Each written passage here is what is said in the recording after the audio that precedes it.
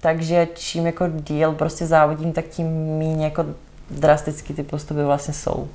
Víš, že jakoby ani nechodím s těma kaloriemi už tak nízko, že prostě nedělám velké rozdíly mezi jakoby tou přípravou a já úplně nemám ráda termín jako off-season, spíš jako improvement season, že prostě na něčem pracuješ, ale ale neberu to tak, jako že bych si třeba jako potřeba od něčeho jako úplně odpočinout. Víš, v jiných sportech to prostě taky tak nefunguje. Nedokážu si představit, že by byl třeba jako basketbalista, jako vrcholový, že by mu skončila sezóna a teď on prostě začal dělat polovinu té práce. Jo, a nevím, jako proč bychom tohle třeba, nebo ať jako každý dělá, co chce, jako nechci nic říkat, ale úplně jako nezastávám to, že prostě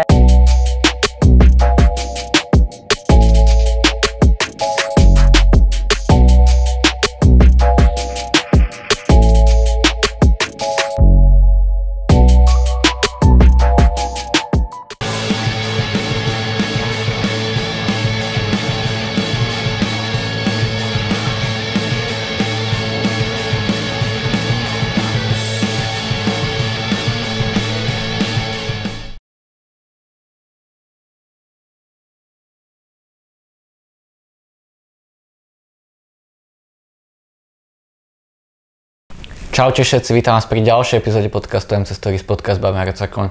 Podcast môžete počúvať na YouTube, Spotify, Google Podcast, Apple Podcast, Podcast Addict, Pocketcast, Breaker a Radio Public. Takisto môžete podcast podporiť na službe Patreon. A na dnešnú epizódu, epizódu tu mám veľmi špeciálneho hostia. Sme v Českej republike a je to česká bikinérka uh, Petra Zvoničková. Uh, ty máš, Peťa, na svoj vek toľko, toľko víťazstiev a toľko súťaží, že to je to je neuveriteľné, takže konečne sme sa tak, takto vychytali, že nahráme podcast a ja by som už teda dal priestor tebe, nech pozdravíš poslucháčov a už prípadne povieš niečo o sebe a začneme nejak se dostaneme do té tvoje bikini fitness kariéry. Dostaneme se do bikini fitness. Tak já zdravím všechny posluchače, já, jak už bylo tak se jmenuji Petra Zvoničková, je mi 22 a v bikinách závodím od uh, roku 2018, takže už nějakou tu chvilku. U bikiny to teda docela dlouho. a jinak uh, studuju na vysoké škole, podnikám a tak a primárně se teda věnuju fitness.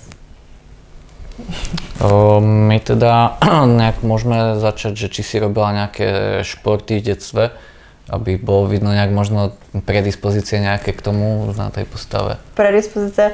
Já jsem v dětství hrála na housle. Teda. Já jsem o čtyři let hrála na housle a na klavír a chodila jsem do zušky a o, i na výtvarný obor a byla jsem takové jako hodně umělecky založené dítě, ale chodila jsem asi dva roky do gymnastiky, takže to je tak, jakoby, takový můj základ. Jakože samozřejmě s našima jsme prostě, já nevím, chodili na brusle každý víkend a tak, ale nebylo to úplně jako, že bych vyrůstala jako v tom sportu. Že jsem nebyla jako takové to dítě, jak prostě, že jsou třeba ty holčičky, co jako vložně jdou nějaký tanec, tak to úplně ne. Byla jsem jako spíš k té hudbě, hodně jsem se jako věnovala.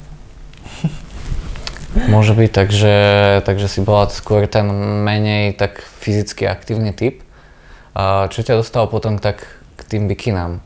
K bikinám? Já jsem se šla jednou podívat do fitka. jsem se šla jednou podívat, když mi bylo, myslím, 14 nebo 15, jsem šla s kamarádkou Kamarádka tam byla dvakrát, já jsem tam teda docela jako zůstala až doteď.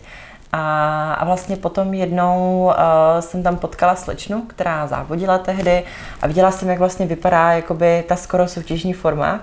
A zjistila jsem potom podle jeho profilu, že vůbec jako nějaké bikiny existují a tak. No a pak jsem se rozhodla, že bych to teda zkusila taky.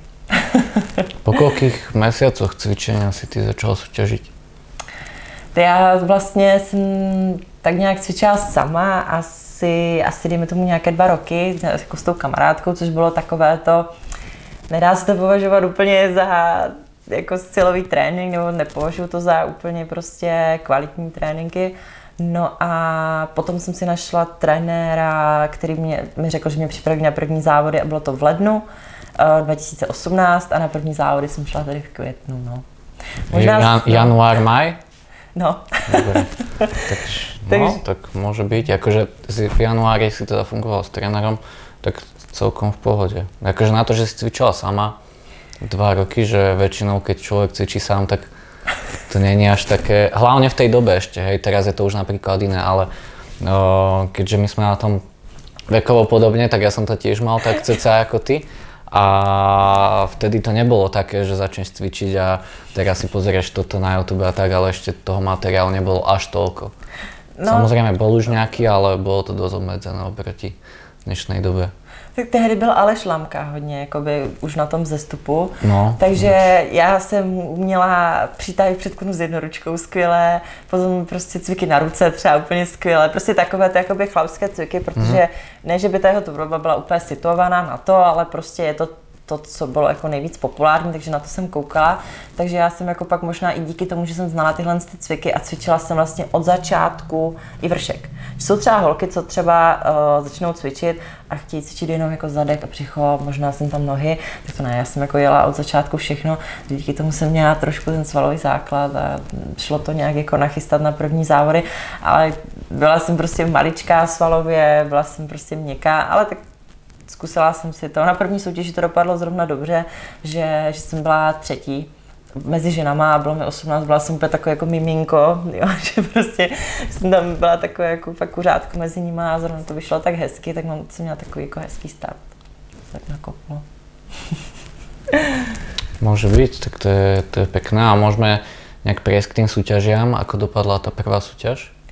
Ta první soutěž byla vlastně úplně taková jako um, byla to strašně velká zkušenost pro mě, protože já jsem absolutně netušila, do čeho jdu. Víš to jako, vidíš to někde na videu, ale teď sám si to zažil, že prostě teď jako děláte první barvu nebo celkově první jako nějaký závěrečný týden, nějaká super kompenzace a teď jako vůbec nevíš, co tě čeká, přijdeš do toho backstage, ty tam jako všichni někde ležíte, čekáš, potom nakonec jako stejně nestíháš na tu stage a tak jako to celkově a vůbec jsem nevěděla, co od toho čekat ale, ale prostě mě to strašně bavilo a zrovna, zrovna jsem měla štěstí, že já vlastně jsem poprvé závodila i v sobotu, i v neděli, jako by na dvou soutěžích, jsme jenom přijeli mezi tím a obě dvě dopadly zrovna hezky, jo? že jsem prostě měla dvakrát první vyvolávání, byla jsem třetí a čtvrtá a tak nějak jako mi to dalo, Protože já jsem vlastně začínala závodit s tím, že vlastně jako vůbec jako nevím, jestli jako na to mám nebo tak, jo, že prostě když, když eh, s tím nemáš zkušenosti nebo nemáš vyloženě někoho v okolí, kdo třeba závodí, tak jako úplně jako nevíš, nevíš a, a právě mi to tak jako dá takovou naději úplně, aha, tak jako asi to nebude úplně marné, jo, že prostě bych mohla v tom třeba pokračovat a tak a bylo to moc pěkné. Já jsem měla jakoby kolem sebe super partu a, a hrozně jsem si to užila. Bylo to, bylo to moc fajn. To bylo fakt krásné.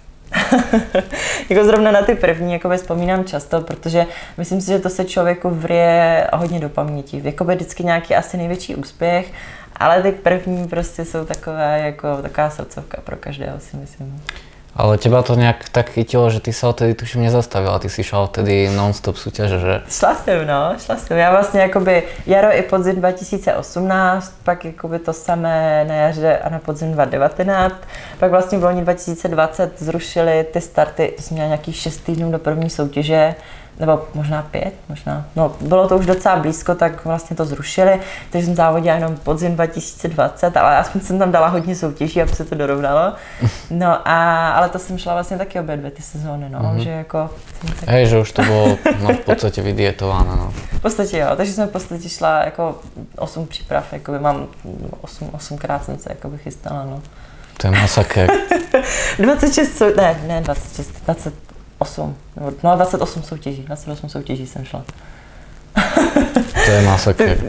Je to, je to jako šílené číslo, no, když se nad tím prostě zamyslíš, že vlastně, ale zase ono, jako když se to rozprostře do toho času, tak jakože to, jako za čtyři roky, jakože to, to vychází, no. to je, to je fakt, fakt masakr. No akože väčšina ľudí to hovorí, že keď si dajú akože už sezónu potom, takže telo mi nereagovalo a tak. Ty jsi nemal například také problémy, že jsi cítila nějak alebo... Tak jakoby samozřejmě jsou momenty, kdy prostě tu formu třeba musíš dotáhnout a zbývá ti nějaký čas a fakt chceš na tu soutěž, nebo je to nějaká důležitá, třeba nějaká mezinárodka, kde fakt jako chceš být a musíš to dotáhnout. Jinak jsem spíš teda zastánce toho si třeba vybrat pozdější a jako nemít to tak drastické. Ale já hodně jako zastávám to, že jako bikina vlastně Ty nepotřebuješ ani tolik jako nabírat prostě moc svalů jako od určitého momentu, nemusíš úplně dělat nějaké objemovky, nebo celkově jako si nemyslím úplně, že je to ta správná volba. Takže myslím si, že pro bikinu je by lepší, když závodí častěji a vlastně vidíš, jak vypadá ta forma, protože um, celkově, i když má ta holka na sobě víc tuku a ty někam plácáš svaly, tak úplně jako nevíš kam, jo, a pak jako těžko se toho třeba zbavuje, napravuje ta symetrie nebo ty tvary a tak, takže si jako spíš jsem zastánce těch jako častějších závodů, a já jsem ještě takový blázen, že prostě jedu nějaký režim jako úplně pořád a, a vyhovuje mi to, takže já vždycky jako mimo tu sezónu si jedu tak jako strukturovaně. Uh, někdy jako je to trošku volnější, ale v podstatě prostě jedu nějaký režim pořád a nemám úplně nějaké extra výkyvy, já vždycky jako jedu po závodech reversku a tak. Takže čím jako díl prostě závodím, tak tím méně jako drasticky ty postupy vlastně jsou víš, že jakoby ani nechodím s těma kaloriemi už tak nízko, že prostě nedělám velké rozdíly mezi jakoby tou přípravou a já úplně nemám ráda termín jako off-season, spíš jako improvement season, že prostě na něčem pracuješ, ale ale neberu to tak, jako že bych si třeba jako potřeba od něčeho jako úplně odpočinout, víš co, jako že, nebo něco takového, že prostě tak jako pokračuju dál, akorát to jako není jako třeba v vozovkách tak extrémní, protože jako úplně nezacházím jako do nějakých těch, těch spíš tak plynule všechno. Tak. Sranda, že dneska máme ísť nás natáčať s jedným fyzikom ešte a to, to video má mať moto, že there is no off season. to jsme si tak jako zrovna hezky, hezky sešli, no. A tak jako já si myslím, že je to takový lepší přístup, že úplně třeba v jiných sportech to prostě taky tak nefunguje. Nedokážu si představit, že by byl třeba jako basketbalista, jako vrcholový, že by mm, mu skončila sezóna a teď on prostě začal dělat polovinu té práce. Jo, a nevím, jako proč bychom tohle třeba, nebo ať jako každý dělá, co chce, jako nechci nic říkat, ale úplně jako nezastávám to, že prostě tak jako lidi ze dne na den prostě přestanou něco dělat, jako, mm, ne, že přestanou něco dělat, ale že třeba úplně jako i ztratí tu motivaci trénovat a tak a prostě přestanou jako je ten režim po těch závodech a jakože není to pro ně úplně jako najednou ta priorita, jo, že prostě si myslím, že je to spíš o té cestě a ne ani to jako o tom konkrétním jako datumu, jako jasně je důležitý, ale prostě nějak prostě pokračuješ dál, že jo. Není to jako, že tak teď jsem tady jako skončil a teď prostě jako na to v uvozovkách částečně kašlu, ale prostě nějak jako pokračuju v tom, co mě baví. Tak bych to viděla. Zase jako nemůže člověk jít na 100% úplně na 100% jakože pořád, protože že jo, psychicky um, je, to, je to nějaký stres a tak, takže musíš se jako trošku trošku jako vyklidnit, trošku, trošku zmírnit prostě, ale, ale tak nějak zastávám jako tu celoroční práci. to takový. Tak určitě, no tak dává to zmysel, tak jakože někdo si přesně dáva, to, tak hovorí ten názor, že oddychnúť si, ale to podľa mňa skôr platí pre tých kulturistov, ale ako ty hovoríš, bikina, škány tam nemá mať nejaké výkyvy s tými súťažnými váhami a uh, mala by se tak držet, že něk vyzerá jako bikini fitness, no, celý rok. Jako jo, jako samozřejmě jsou prostě případy, kdy, kdy ta slečna třeba potřebuje nabrat jako víc svalů nebo potřebuje si třeba jako víc psychicky odpočinout a jakoby jasně, když prostě je to tělo vystavené nějakému extrému, což je prostě soutěžní forma, je to extrém a zvlášť jakoby u ženy, tak uh, mimo tu sezónu vypadáš třeba hůř v vozovkách nebo máš třeba horší formu než člověk, který uh, prostě nezávodí a je tak nějak šredet celý rok. Tak by jasně, tam může dojít prostě k tomu, že, že se třeba jako i úplně jako necítíš a tak, nebo prostě jako nemůže být vysekaná pořád, ale zase myslím, že by to jako mělo být prostě v nějaké jako, v nějakých jako rozumných mezích. Zase to, jak pracuješ mimo tu sezónu, tak pak ovlivňuje to, jak budeš mít přípravu. Co? A zase jako nechci, nechci začínat třeba nějakou dietu s tím, že, uh, že prostě vím, že mám třeba krátkou dobu a mám na sobě moc cukru a teď jako budu muset jako extrémně jako makat, prostě já nevím, mít nějaké nuly sacharidu a podobně, jako do toho jsem asi úplně pouštět nechtěla. Víš, že si myslím, že prostě v tom případě bych si na to třeba dala víc času a udělala spíš jako tu improvement season a až pak tak nějak jako přešla jako do ty samotné diety, no přece jenom jako potřebuješ ten metabolismus jako nějak, aby pořád pracoval, tak musíš jako na něho opatrně. Tak čím víc prostě je tam těch výkovů, tak tím pak, já nevím, pak se dostáváme, teď, teď, teď už se mě rozkecám, ale pak už se jako zase dostáváme do nějaké, dejme tomu, nějaké leptinové rezistence, víš, už to prostě nereaguje. Pak jsou holky, co prostě jedou, já nevím, dva měsíce 600 kalorií a stejně jdou jako na to soutěž nedotažený. Je to škoda, no, že prostě kolikrát je třeba nějaký talent, ale, ale prostě musí se s ním umět jako nějak rozumně pracovat. No. Že čím větší extrémy tam jsou, tak tím jako hůř to pak se s tím pracuje dál. Přesně tak, přesně tak. Ještě kdyby jsme k tým súťažem sa trochu vrátili z toho obdobia, které tam také súťaže jsou pro teba, čo najviac znamená, ty najvýznamnější? Myslíš jakoby úplně na začátku nebo jakoby celkově? Můžeš celkovo. Celkově. A tyjo, celkově pro mě byl úplně nejlepší tady letošní rok. Jednoznačně.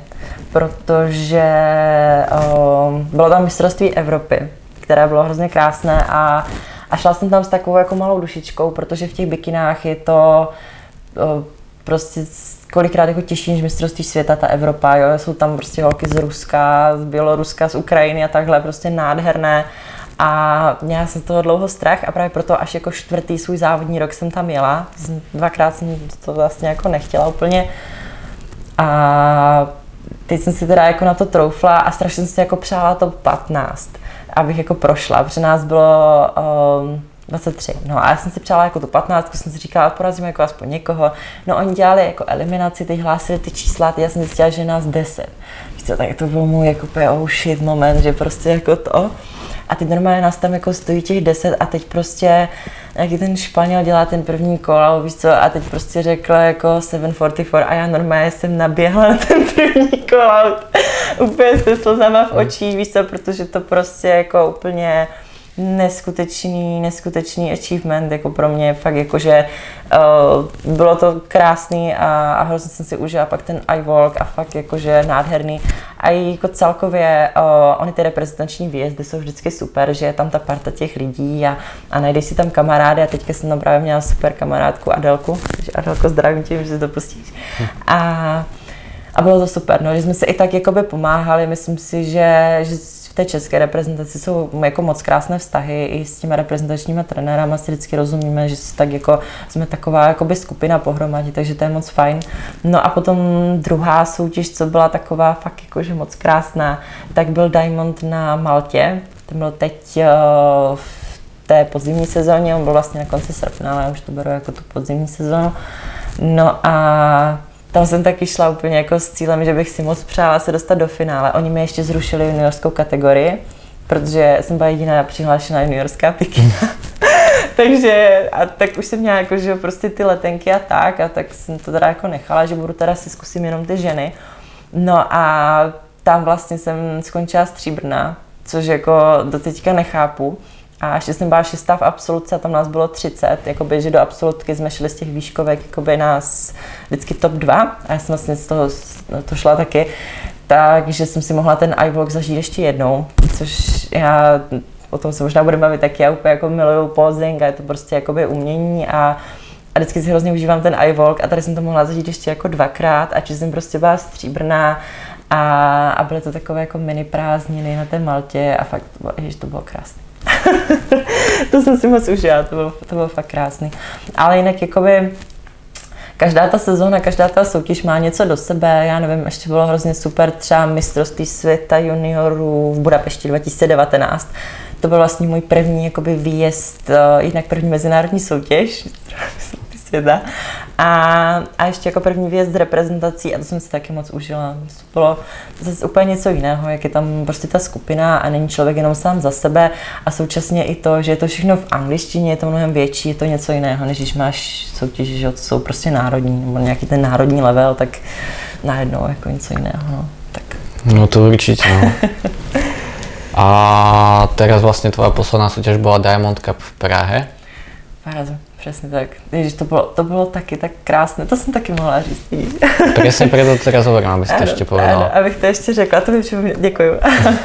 to bylo, ježiš, to bylo tak super, kvůli mě tam prostě cestovali lidi 300 km, aby mě viděli závodit, co mi fandí a a prostě mi uh, napekli mi jako mňamky bez alergenů a, a celkově jo, jsem tam cítila jako hroznou podporu. Uh, tím, že to bylo na té domácí půdě, tak uh, fakt jako to bylo moc krásné a strašně jsem si to užila. Ježíš.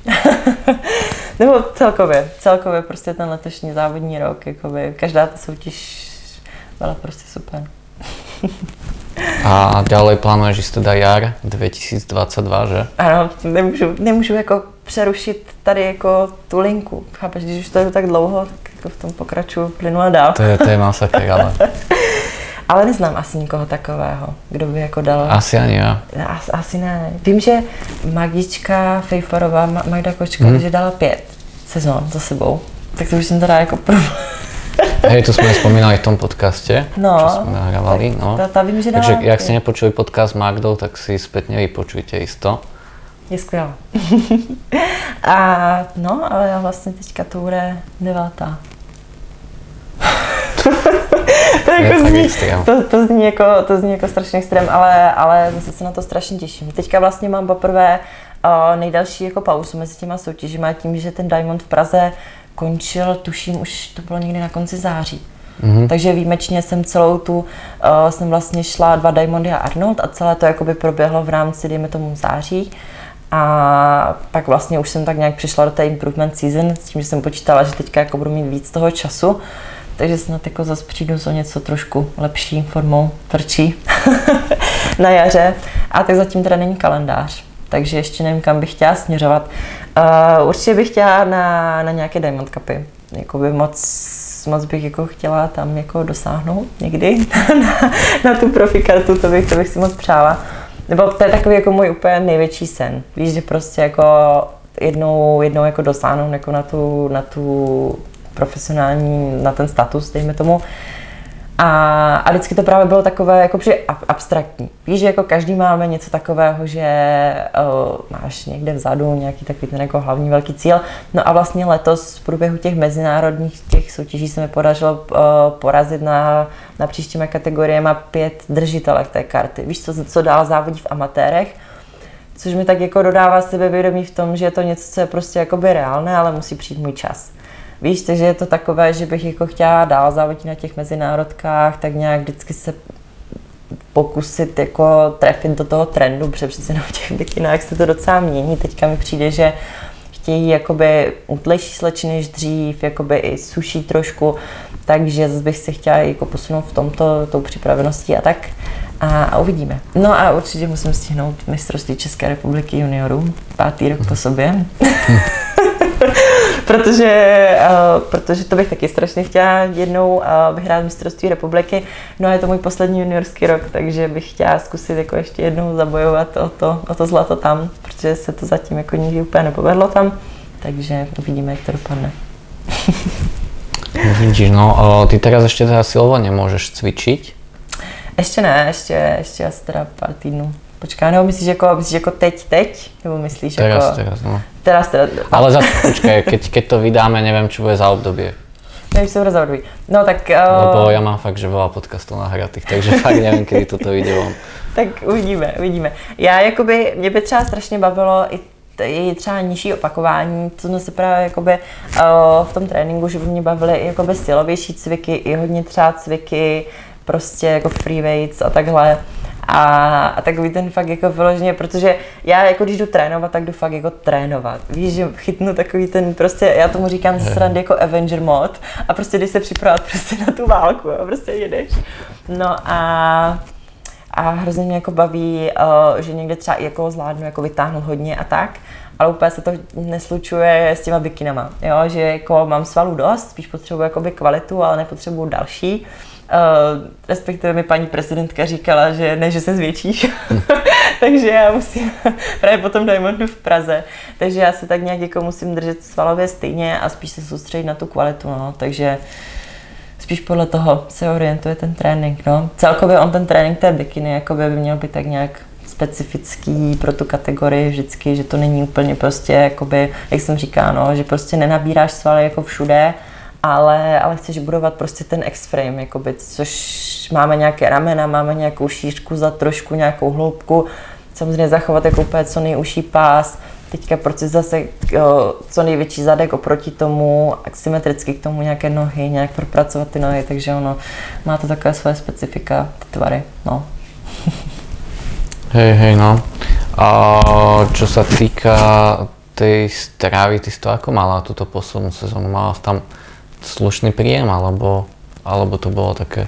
Úplně tu poslední. Mm. Tak já vlastně, uh, já jsem začínala přípravu jako takovou v únoru, protože jsem uh, první soutěž jsem měla 1. května, která byla taková rozjezdová a pak vlastně bylo to mistrovství Evropy, pak jsem si dojela zbytek té jarní sezóny a dala jsem si Uh, měla jsem nějaký, jakoby nějakou improvement season asi měsíc, tím, že dva týdny z toho jsem byla na jakoby vysokým příjmu hodně, aby jsme to prostě jakoby se, se trošku srovnali všechno. A, a pak jsem se chystala vlastně jakoby na, na ten podzim uh, s tím, že to byla asi moje nejsnažší příprava vůbec jakoby celkově. Ono, já jsem takový jako akční člověk, takže já docela mám ten výdej, víš, že prostě 20 tisíc kroků denně, jako, jako casual, takže plus ještě ten silový trénink, uh, plus dejme tomu nějaké osobky ve fitku, nějaké kolekce pozingu a tak, takže tam jsem to i hodně jako naháněla spíš tím videem, ale, ale bylo to taková nejvíc klidu příprava, no, jakože i tak nějak jako psychicky, že mi ani jako nepřišlo, že jsem v nějaký přípravě, víš, že něco jako, někam jsem se chystala, ale do poslední chvíle jsem si neuvědomovala, že vlastně už tam jako máme tu soutěž, no. Tak to je len dobré, no, keď to máš takto zmáknuté a už to funguje takým systémem, tak se to bude podle mě len každou přípravu zlepšovat. Teď už si vůbec, teď už jako vůbec nebudu vnímat, že jdu na nějakou soutěž. Mě to, mě jako vždycky to začne docházet, až když si jako třeba balíš ten kufr. Víš, že už jako tak jako něco se děje, někam jako jdeme, no. Ale vždycky je to takové, si říkáš, jakoby, jo, tak mám prostě ještě, když to je až za dva týdny, jo, a teď jako z ničeho nic už to tam je, tak no, beží to rychlo ten čas. Je to šílené, no. Já vlastně, nebo mě celkově mě přijde, že jsem začala závodit před chvilkou. To to jsou prostě čtyři roky, že? To je jako crazy. Hodně. Vůbec, vůbec mi jako, nevím, nevím, jako kam to uteklo. A tak ono celkově jako um, tak nějak si myslím, že to ubíhá rychleji tím, že prostě je to takové jako odpočítávání, víš, že, že, že tu přípravu jako se jako chystáš na to, že tak teď jako tři měsíce jako si tak jako čekáš na ten datum, víš, že tak nějak jako k tomu směřuješ, že prostě to pak ubíhá rychleji. Pak se tak jako přehoupneš, to chystáš se zase na podzim, takže, takže je to takové. Ale jakoby, uh, co jsem ještě neřekla, tak na čem, na čem si jakoby zakládám, co se týče těch příprav, že já vždycky jakoby přijdu na tu další sezónu a vždycky se snažím přijít a myslím si, že zatím se mi to docela daří, vždycky se snažím přijít uh, lepší. Prostě, ale uh, fakt jakoby se posunout i tou formou, i tím projevem, prostě jako po všech stránkách. Víš, že mm, kdybych třeba závodila takhle jakoby všechny ty sezóny a viděla bych, že prostě jsem nějakým jako regresu, jo, nebo že to nějak stagnuje, vypadám prostě furt stejně, o, nedopadá to dobře, dejme tomu výsledkově, tak bych to nedělala. Jo, ale když jako vím, že jsem schopná jako přijít a bude to vypadat jinak, bude to prostě působit jinak, tak, tak to dělám, no. Že jako vždycky, vždycky sice závodím pořád, ale vždycky jako přijdu a je to, je to trošku posunutý. Že tam jako, je tam nějaký progres. za ty 4 roky, čo teda súťažíš, ako si ty viděla sa ten trend eh, v těch bikinách za ty 4 roky? Ty za ty 4 roky. Já vlastně, eh, když jsem eh, začínala závodit, tak to bylo tak nějak, že jsem hodně sledovala třeba Oliviu Pohankovou a ta byla jakoby svalově třeba docela velká, nebo celkově mě se spíš jako uh, líbí, když jsou ty slečny jakoby svalově větší a nejsou tak v uvozovkách vysušené úplně třeba, uh, nebo nejsou jakoby tak droboučké hrozně moc. Uh, no a vlastně teďka třeba si myslím, že to víc inklinuje k tomu, že jsou ty slečny jakoby útlejší. Uh, je tam ještě víc jakoby výraznější to véčko, že třeba teďka je uh, těžší se prosadit, pokud třeba nemáš vyloženě tu modelkovskou stavbu. S čím, že já mám třeba trošku problém, že pokud se mi sejde kategorie, kde jsou ty slečny, co se prostě narodily s uší jakoby kosterní stavbou, tak já, i když se jako vydietím, tak já si prostě nevydám dvě žebra. Víš, mm-hmm. takže pro mě je třeba lepší pak uh, když závodím v juniorkách, tak je to vlastně na mezinárodních soutěžích to open, což je takový jako složitější, uh, protože je to hůř hodnotitelné. Když máš slečnu, že máš jakoby mě a teď máš slečnu, co máme 50, je těžší to nějak jakoby porovnávat uh, z pozice toho rozhodčího. Ale potom v té mojí výškovce, kde vlastně to máme jakoby fakt jenom vysoké ty slečny, tak už jakoby tak působím zase nějak jinak, no, takže spíš jakoby, a tak stejně už, už spíš jako se soustředím na ty ženy, že mám vlastně jako juniorek budu poslední rok, takže už jako moje priorita je spíš, spíš tam. Hej, um, ty teda ináč môžeš aj spomenúť, že s akým trénerom spolupracuješ? Ale se Slávkem Vinogradovem dva, dva roky vlastně. Teďka jsme měli výročí dvou let asi před měsícem a uh, mám v plánu dalších x let, ale určitě bych nechtěla nikam odcházet, protože myslím si, že je to hrozně skvělý člověk. Jednak jakoby je velká kapacita v tom, že má obrovské znalosti, obrovské zkušenosti jako trenér ale současně i mezinárodní rozhodčí. Takže on po každé soutěži vím, že přijde hlasovka, kde bude přesně řečeno, proč jsem skončila tak, jak jsem skončila. Jo, že jsem třeba byla na Diamondu v Ostravě, jsem byla to čtvrtá, a on mi poslal hlasovku, neměla si mezi lopatkové svaly a potřebovala si ještě trochu staženější prostě a tvrdší jakoby nohy. O, no a to bylo v podstatě to, s čím jsem potom se pracovala do té další sezóny. Jo, že tím, že takhle přesně jako víme, kam chcem směřovat a on současně ví, jak na to, tak mi to dává jakoby hrozně moc. Nebo celkově to prostě takový jako mentor. Jak to asi řekla.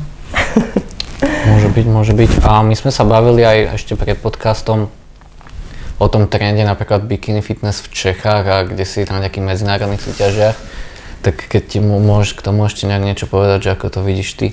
No, uh, já si myslím, že tam uh, se tak nějak jakoby uh, je střed toho, že uh, hodně třeba českých rozhodčích tak jsou třeba bývalí kulturisté a tak podobně a oni to prostě hodnotí z toho jejich pohledu, jak se hodnotí ta soutěž.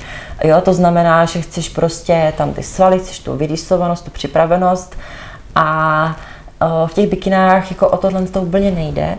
A pak zase máme jako rozhodčí, co jsou třeba v Česku i jakoby mezinárodní, co rozhodují i v Česku, ale i na mezinárodních soutěžích a zase znají ten trend a ví v úvozovkách spíš, o čem ty bikiny jsou a jaký je ten jako pomyslný ideál, ke kterému my směřujeme, takže ti zase hodnotí jinak. No a myslím si, že potom třeba narazíme na to, že v Česku třeba vyhraje slečna, která je svalově třeba uh, jakoby tak nějak tou připraveností a vším, že by byla třeba spíš jako do vyšší kategorie, třeba do wellness, ale prostě vyhraje a pak jde třeba na mezinárodní soutěž a tam neuspěje, protože to prostě neodpovídá vůbec tomu subtilnímu trendu. Jo, že já jsem třeba měla, nebo co se mi stalo vlastně letos, tak bylo, že jsem vlastně uspěla na té Evropě, kde jsem teda jako odpovídala tomu trendu, no a chvíli na to bylo právě to mistrovství republiky a tam jsem byla čtvrtá z osmi. a přede mnou byly jako všechny slečny, které byly jako by jenom svalnatější než já. Jo, s tím, že já jsem třeba měla lepší symetrii, lepší prezentaci, lepší jako celkový ten look, ale oni prostě měli jako víc svalů. A proto to tak jako bylo rozhodnuto. A není to třeba něco, s čím já bych se dokázala pak úplně stotožnit, protože vlastně mm, je to takové těžké v tom, že o, v uvozovkách nějaké pravidla toho rozhodování se potom nezhodují s tím, jo, že když jako nějaká slečna je třeba subtilní a neuspěje v Česku, tak ona si třeba řekne, že jako na to nemá, aby šla na mezinárodní soutěž. A přitom právě, kdyby šla na tu mezinárodní hmm. soutěž, tak by jako dokázala třeba větší úspěch nebo lepší umístění, než prostě jako někde tady. Jo, že je to takové, ale myslím si, že se na tom pracuje, že se to posouvá. Právě teď na tom Diamondu v té Praze se na to začali hodně soustředit, protože tam byli přítomní rozhodčí z eh, Arnold Classic, jakoby z toho předchozího týdne, vlastně, že přiletěli do Prahy a rozhodovali tady, myslím, dva nebo tři. Takže ti tam jakoby hodně kontrolovali ten trend a myslím si, že se v tom tak nějak pokračovalo i v těch, jako v tom v podzimní sezóny i na těch jako českých soutěžích, takže doufám, že to jako vydrží a na jaře v tom budeme pokračovat a bude se to jako víc hodovat s tím mezinárodním trendem. No. Ty ináč si aj trenérka, máš aj svoje klientky, ktoré súťažia. tak môžeš napríklad povedať taký tvoj pohľad na to, ako je to zase z tej inej strany, že máš niekoho, kto ti ide na súťaž a spraví nejaký výsledok.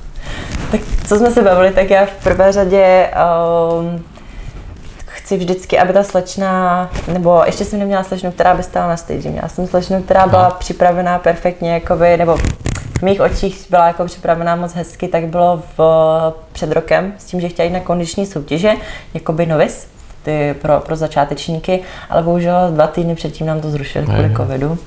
Takže, takže to mě hodně mrzelo. A teď právě na jaro budu chystat slečnu a potom na podzemí budou startovat tři nebo čtyři, to ještě uvidíme.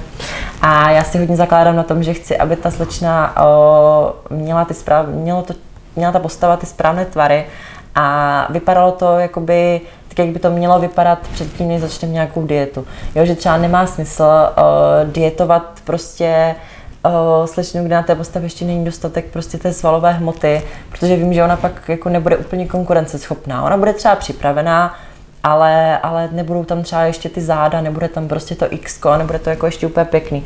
Že mi přijde jako rozumnější si tam na to dát ten čas a dopracovat se k tomu výchozímu bodu, ze kterého pak jako budeme začínat tu samotnou přípravu.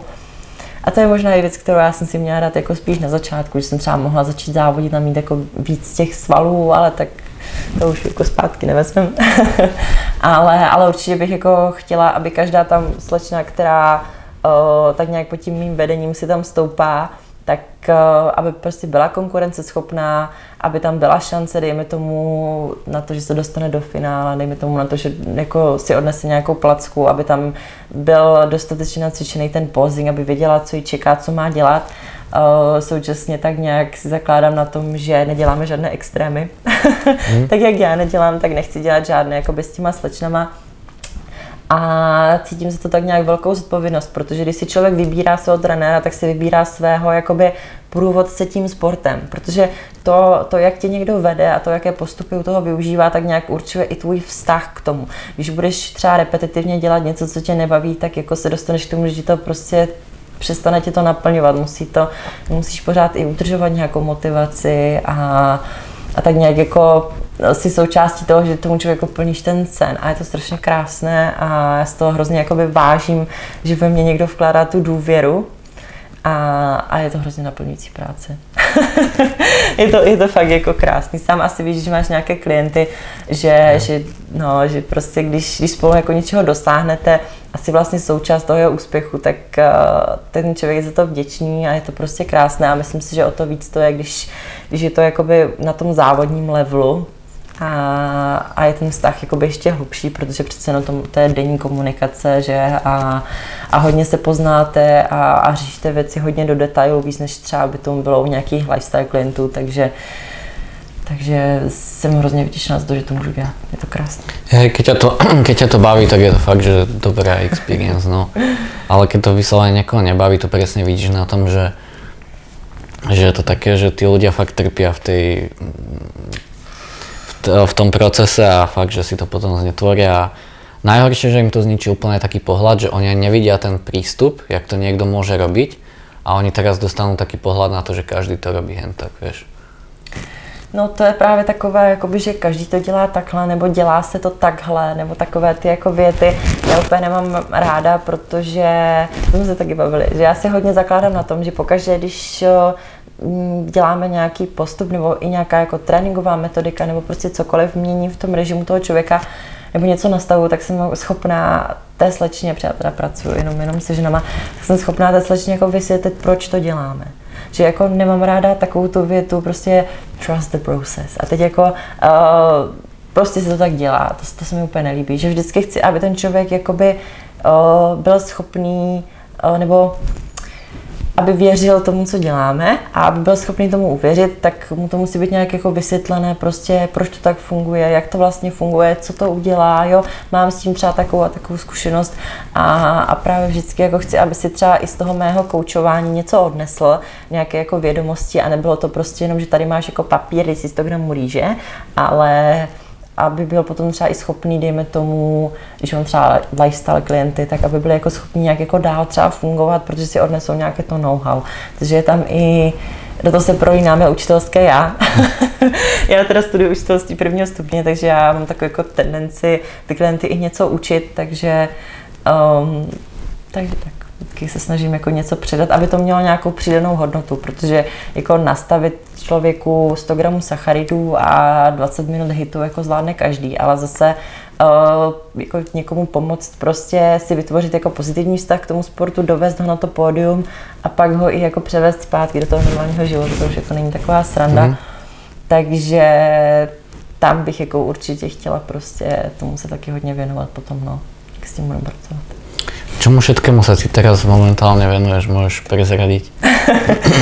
je to hodně, no. Já mám takové, vždycky jsem taková, že potřebuji pořád něco dělat, takže to je eh, milion různých činností, jak jsem teda říká, tak já studuju na paní učitelku, takže mám vlastně i praxe, takže teď jsem třeba učila děti o vesmíru, bylo to krásné, to mě bavilo.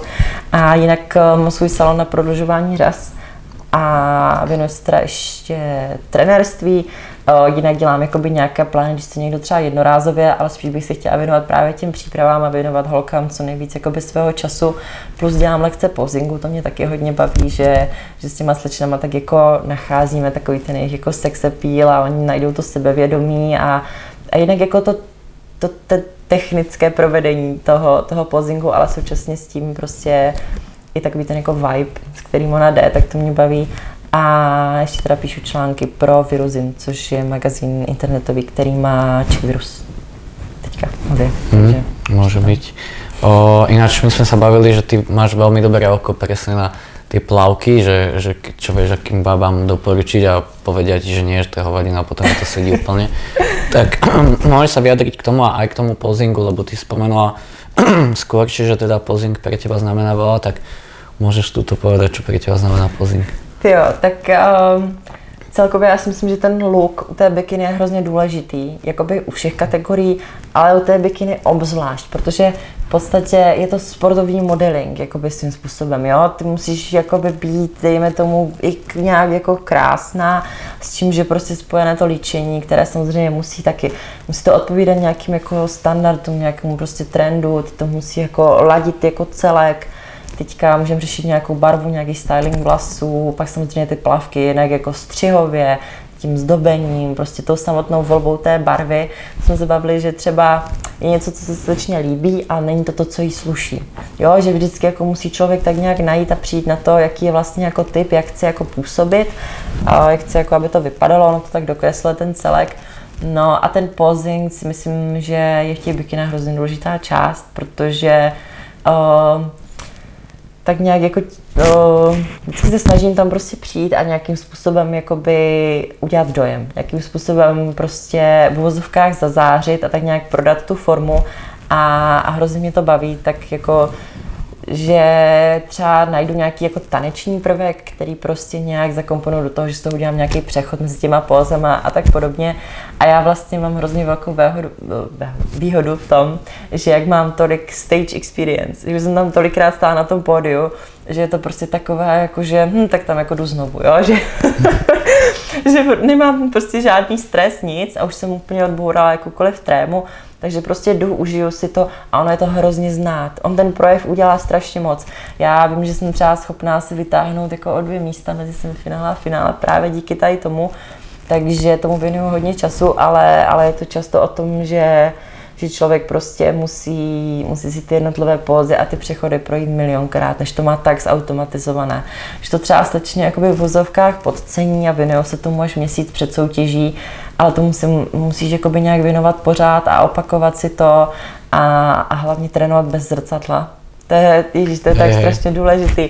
Umět to všechno bez zrcadla a potom umět pracovat třeba s situací, že ti jakoby stopnou v polovině, že už není čas, jo, nebo že třeba napomene hlavní rozhodčí, nevím, že nestojíš nějak, to je taky teď důležitý, hodně se na to klade důraz váh na jedné noze, hodně v těch bikinách a je to vlastně proti pravidlům, když nějaká slečna stojí jakoby do Ačka, jakoby rovně, že musí tam být to těžiště na té jedné noze, takže třeba pracovat s tím, eh, že jí napomene ten hlavní rozhodčí, ať to jako nerozhodí, jo, nedělat zbytečné chyby, nebo jako by přijde mi hrozná škoda, když je ta slečna hezky nachystaná, dělá tu formu, ale jako neumí to jako odprezentovat, jo, že takové ta jako v třešnička na dortu, ale zároveň je to hrozně důležitý, takže to utváří ten celkový dojem, takže tomu se hodně věnuju, to mě moc baví. Vždycky tak jako když jdu na ten iWalk a teďka prostě vím, že teď jako je ten můj moment, jako na který jsem se prostě těšila a, a jenom si to užiju, ničím se nestresuju, já nevím třeba tím, jak to dopadne, nebo tak jako nějak to dopadne, jo, ale ale vždycky si to tak jako prostě užiju. Co mě třeba mrzí, je, že my máme docela málo času. Třeba kulturisti vlastně si jednak vybírají písničku, mm, což my si nevybíráme. Mě tam, mě tam prostě hraje něco úplně vždycky náhodného což už se mi jako stalo, že to bylo prostě třeba něco jako repového a současně už se mi stalo, že to prostě byla nějaká, jako já nevím, nějaká česká písnička. Takže jako nějaká třeba starší, prostě jak tam hraje hudba celý den, tak to tam náhodně asi nějak to. No a vlastně kulturisti si to můžou vybrat, takže to, to, to jim taky jako se hodí. A zároveň mají na to minutu. My kolikrát jako máme prostě velice málo času, že se mi stalo, že mě fakt stopli třeba, jsem jenom jakoby udělala pozdrav, teď jsem přišla dopředu, udělala jsem prostě první pouzu a už mi jako řekli děkujeme. Jo, což si myslím, že je taková jako škoda, myslím si, že na těch soutěžích by se pro ty bikiny jako našlo, dejme tomu, já nevím, když tam každé přidají prostě 15 sekund, o kolik se může natáhnout ta soutěž, o 10 minut, jakoby je tak strašně rozhodující, jestli s téma odcházíme, já nevím, jestli ta soutěž končí jako 17.40 nebo 17.50, už je asi jedno, ale zrovna jako pro tu složku na tom pódiu je to docela důležitý, takže si myslím, že by to tak mohlo zůstat trošku, trošku to jako natáhnout. Bylo by to fajn. No, tak toho času je fakt dost málo, keď, to, keď sa nad tým zamyslíš. Je, no, je to takové, že prostě fakt musí, musí jako tam člověk přijít a a na to taky holky často jako by si myslím, že zapomínají, že oni se postaví do pózy a až když jako stojí v té čelní póze, tak začínají nějak komunikovat s těma rozhodčíma, začínají jako nějak prostě prodávat tu formu. Jo, ale ono se to prostě hodnotí od chvíle, co jako si tím podpadkem dotkneš toho jako koberce na tom pódiu a prostě oni od té chvíle už tě hodnotí a už to, že tam prostě přijdeš se zhrbenýma ramenama a nenavážeš oční kontakt, jako udělá nějaký dojem. Jo, že prostě tak nějak jako celkově musí člověk jako dívat se na ty rozhodčí, usmívat se, nezapomínat se usmívat, ježiš. A hlavně jakoby stát podle těch pravidel. Pak je třeba další věc, nesmí, nesmíme jakoby zakrývat tu soupeřku, takže třeba zvedat ruku, co se taky někdy stává, nebo tak jako celkově, no si nějak působit. Mm. No jinak, jako čo sa týka toho posingu, tak ja si neviem predstaviť, že naučiť sa to pozvať ako bikina, to je, akože mne to príde extrémne zložité, vieš, keď si to porovnáš s men's physique, classic, ešte classic physique je také náročnejšie, ale napríklad men's physique alebo s kulturistikou, tak to je o mnoho jednoduchšie. Tak je to takové, je tam, tam je velice náročné vlastně to prohnutí se v těch zádech, protože musí fakt fakt jako co nejvíc, jo, musí člověk neustále držet vypnuté ty ramena a vlastně co máme třeba, co je úplně jako nejtěžší pro mě, když jdeš I walk, uh, jako holka, tak když je vás vlastně šest. A když jdeš jako ta první, tak ty stojíš té čelní póze celou tu dobu, co ten zbytek těch slečen, prostě jde ty svoje eyevolky. V ten moment mi vůbec nevadí, že jsou krátké teda protože vlastně musíš jako stát té čelní poze a to je třeba hrozně náročné. A to se myslím v kulturistice nebo v jiných těch se to třeba nestává, jo? že oni myslím jako odejdou a pak přijdou všichni na porovnání. Ale jako kedy? Stává se, že stojí tam a že zostanú v tom základnom postoji, ale takisto je jednoduchší ten základný postojak. Je to, je to hmm. těžké, no. Současně s tím je vlastně spojená ta chůza na těch podpadkách, že to musí být jako dostatečně osvojené, musí to působit přirozeně Nechodí se v tom úplně snadno, protože vlastně eh, je to jakoby na zouvák na vysokém podpadku, že? takže je to docela těžký v tomhle. Ale zase, co se mi líbí, tak je, že vlastně tím, že máme jakoby NPC, které nabízí nějaké, nějakou jako repertoár po a třeba pohybu, jako, že tam jako můžu najít nějakou inspiraci.